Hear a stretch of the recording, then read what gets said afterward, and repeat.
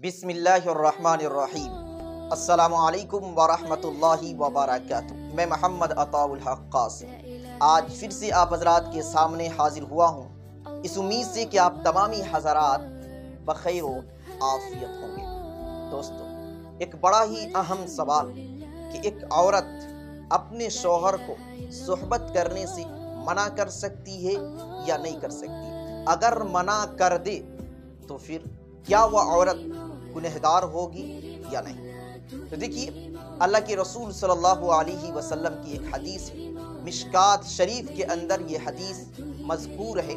हज़रत अबू हुरैरा रज़ी अल्लाह तु रिवायत करते हैं कि अगर शोहर अपनी बीवी को अपनी तरफ़ बुलाए, हम बिस्तरी के लिए, सोहबत के लिए, फिर उसकी बीवी इस काम से मना कर दे, इनकार कर दे, फिर शोहर नाराज़गी का इजहार करते हुए पूरी रात नाराज़गी में ही गुजार दे तो फिर पूरी रात फरिश्ते उसकी बीवी पर लानत भेजती है। जी दोस्तों, इस हदीस के अंदर दो चीज़ें हैं। पहली चीज़ ये कि बीवी अपने शौहर को कुदरत देने से मना कर दे, यानी शौहर बीवी को अपनी तरफ़ बुलाए तो मना कर दे। अब यहाँ पर देखा जाएगा कि बीवी ने शौहर के करीब जाने से क्यों मना किया।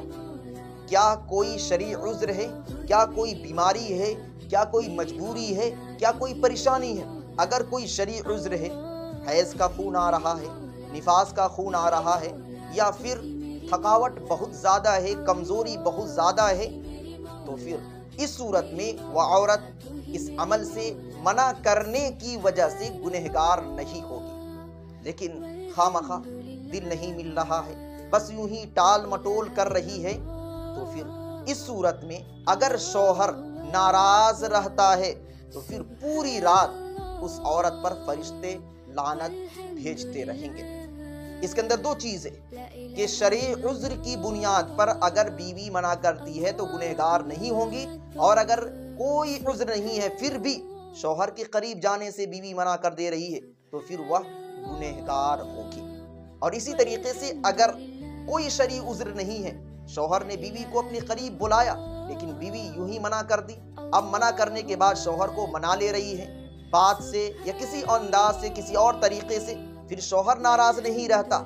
इनकार तो की है, लेकिन शौहर इस इनकार पर नाराज़ नहीं है तो भी उस औरत पर फरिश्ते लानत नहीं भेजेंगे। यानी औरत अगर शौहर के बुलाने पर बगैर किसी उज्र के मना करती है और इस इनकार पर शौहर नाराज़ रहता है तो फिर वह औरत गुनहगार रहेगी और उस औरत पर पूरी रात फरिश्ते लानत भेजते रहेंगे।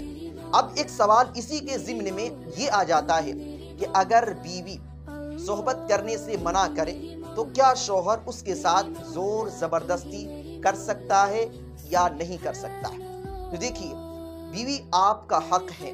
आप अपने हक को जिस तरीके से चाहे उस तरीके से इस्तेमाल कर सकते हैं। लेकिन हाँ बीवी ने जो इनकार किया है सोहबत करने से, आपको देखना पड़ेगा, आपको समझना पड़ेगा कि आखिर मेरी बीवी इस अमल से क्यों मना कर रही है, क्यों रोक रही है। क्या वाकयतन वह बीमार है, लाचार है, मजबूर है, परेशान है?